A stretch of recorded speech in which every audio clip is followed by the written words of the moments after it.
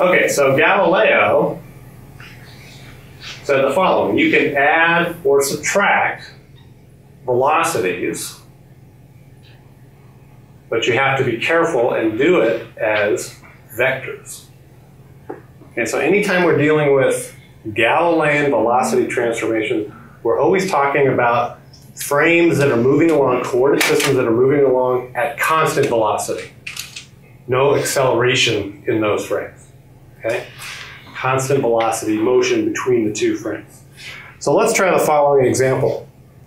Let's say that we are standing on a train, and now we are walking inside that train.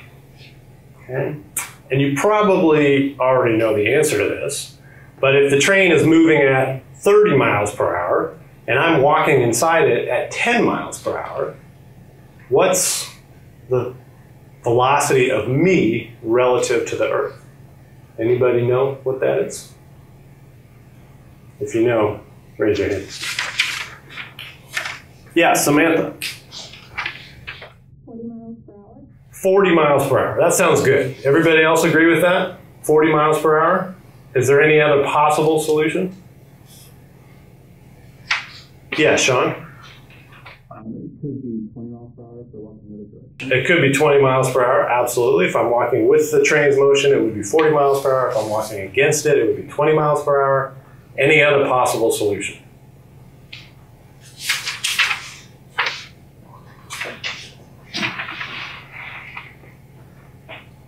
Yeah, Doug. It could be the same if you're walking sideways. Okay. It could be something else if you're walking sideways. Maybe not the same as the train or the same as you, but something else.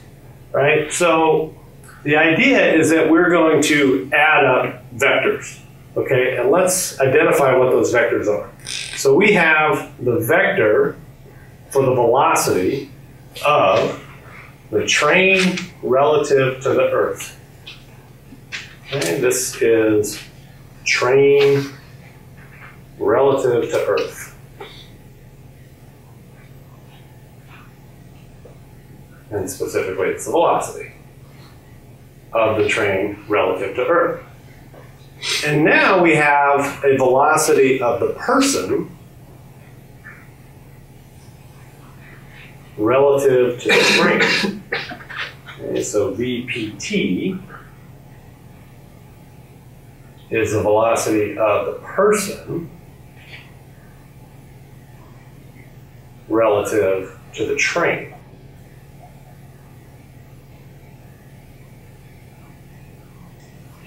Okay, but what we really want to know is what does somebody out here observe? Okay, this is the observer in the stationary frame. And they're going to say, oh, the velocity of that person relative to the Earth is what?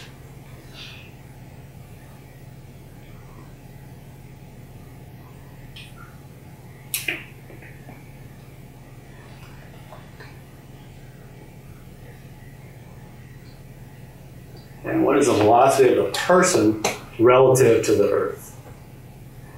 Okay, so what we said was if the train's moving at 30 miles per hour and you're walking at 10 miles per hour, then we could be moving at 40 miles per hour relative to the Earth.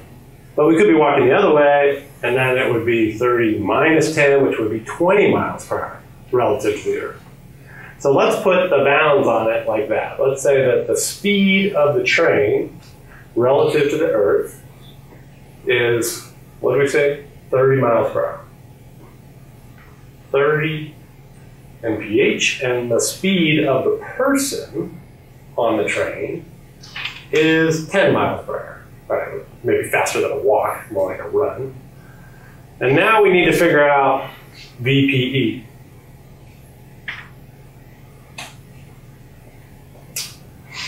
What is the biggest that VPE could be? What's the biggest that VPE could possibly be? We already said the answer to this, right?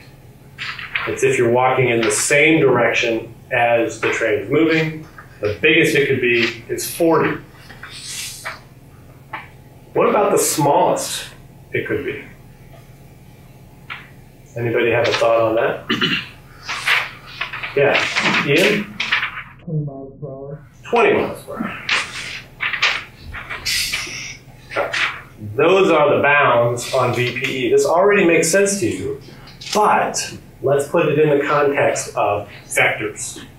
Okay, we said that the train is doing this. This is V of the train relative to the Earth.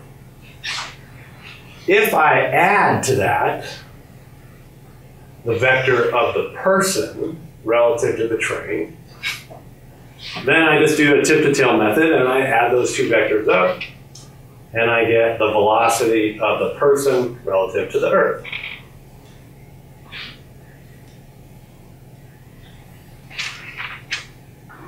Okay, but what about when I go the other way?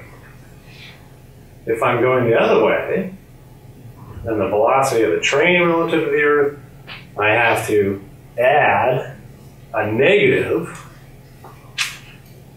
velocity of the person relative to the train, and therefore the sum is going to be that little bit right there. Okay? So in that case, we're going to get 40 miles per hour. In this case, we're going to get 20 miles per hour. But of course, we don't have to add those vectors in the same direction. You could be walking sideways relative to the train. And so this would be the person relative to the train, and therefore the sum of those two is right there. This is the person relative to the earth. And in this case, if this is a right angle, now we can solve this. VPE squared equals VTE squared plus VPT squared.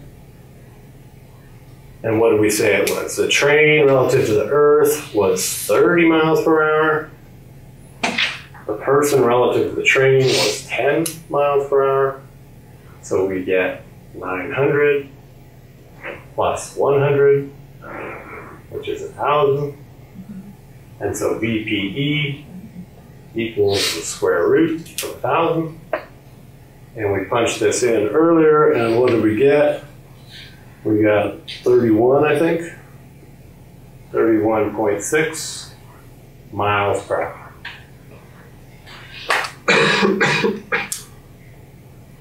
so, look at this picture right here.